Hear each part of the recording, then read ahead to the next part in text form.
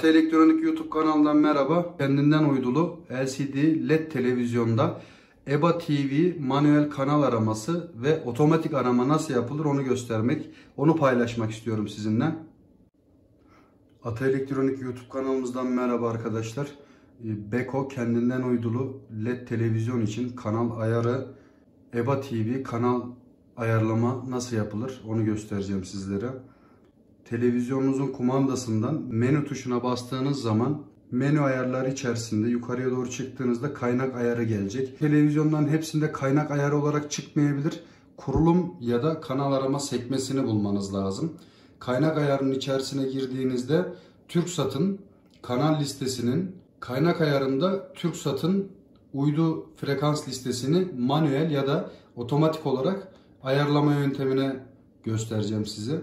Şu an otomatik kanalları aramanın içerisine girdim. Standart mod, TürkSat. Şifreli şifresiz olması önemli değil taramanın.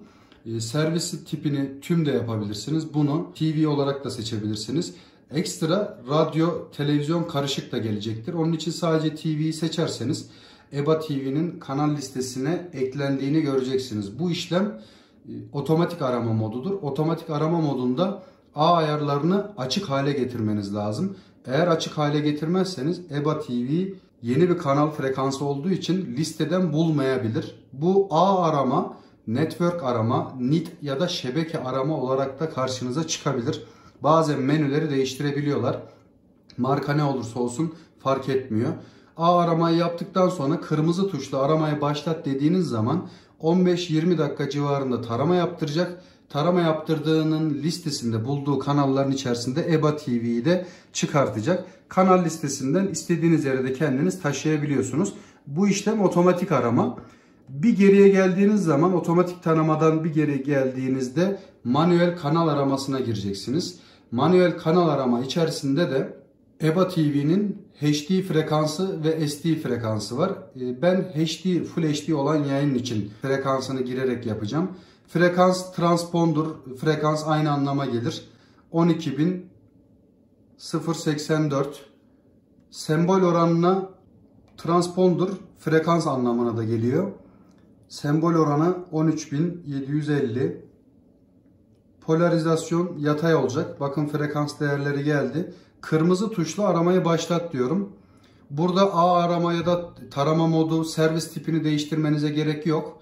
Ee, bu manuel kanal arama, frekans yazarak giriş yaptığımız için onlar için bir herhangi bir farklılık göstermiyor. Sağ tarafta EBA TV'nin ilkokul, ortaokul ve lise HD kanallarını tarama yöntemini gösterdim size. Bir de bunu eğer televizyonunuz ya da başka uydu cihazlarında kullanmak istiyorsanız bir de bunu bu frekansın SD yayın bandı var. O yayın bandını da yapabilirsiniz. Bazı sizlerden gelen geri dönüşümlere HD yayınlarda sinyali olmayan kişilerin SD yayını da yüklemesi gerekebilir. HD yayın sinyal kalitesi iyi olmak zorunda. Eğer iyi olmazsa sinyal yok uyarısı alırsınız. Eğer HD değil de e, SD yayın yani görüntü kalitesi daha düşük olan frekans bandını da sizinle paylaşayım. 11916 30000 polarizasyonunuzda pay olacak. Bu görüntü kalitesi düşük olan SD dediğimiz yani Full HD değil görüntü kalitesi düşük olan eğer sinyal değerleriniz düşük geliyorsa Full HD yayınları bulamıyorsa televizyonunuz bu frekans bandını deneyin. Çünkü bu frekans bandında yayınları SD olarak izlersiniz. Aramayı başlat diyorum kırmızı tuşla.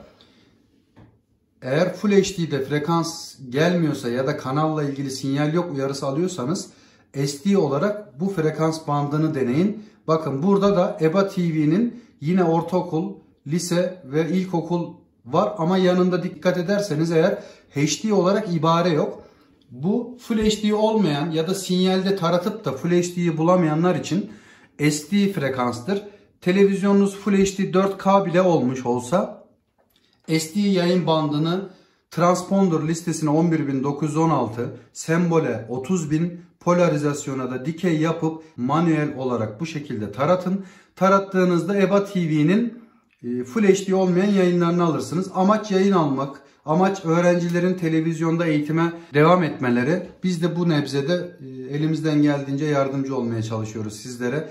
Çok soru vardı. Full HD'de televizyonumuz 4K LED televizyon ama sinyal gelmiyor. Bunu SD bantta yapabilir miyiz veya yükleyebilir miyiz şeklinde ben de size bunu göstermek istedim. Umarım sizin için faydalı olmuştur. Sağ alt köşeden abone ol deyip bizi takip ederseniz eğer memnun oluruz. Teşekkür ediyoruz. Size.